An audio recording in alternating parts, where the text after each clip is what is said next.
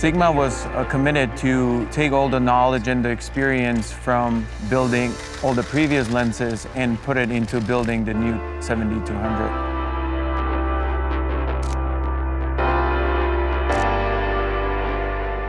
I think uh, action sports being my background in photography, one of the things that taught me takes a lot of work and, uh, and time and energy to come up with this type of images. You might be going on a trip, you might be breaking trail for weeks at a time, building the jumps, waiting, sometimes for hours, sometimes for days. It comes down to asking yourself the question, is this really for me? How committed am I?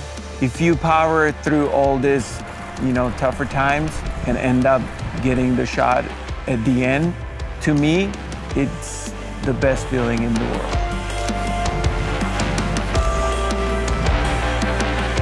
When I'm committed to trying something new or a new trick, for me, pushing past that wall, if you will, is something that I feel I'm reasonably close to being able to achieve that. If the risk is too high, then I know in my head I either need more training or I'm not going to be able to do it. I know that it's going to push myself, even though I've never done it, but I'll be able to do it.